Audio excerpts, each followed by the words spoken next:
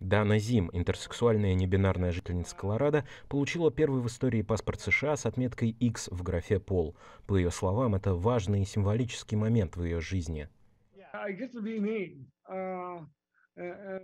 Я становлюсь самой собой во всех смыслах этого слова. Это волнующий момент. Я могу пойти куда-нибудь и сказать, да, это то, кто я есть. У меня появились документы, поэтому, когда люди спрашивают у меня удостоверение личности, и если полицейский остановит меня за нарушение правил, я вытащу паспорт, и вот он, понимаете, это федеральный документ. Паспорт США нужен в первую очередь для путешествий за границу. Зим сравнивала невозможность получить его с пребыванием в своеобразной тюрьме.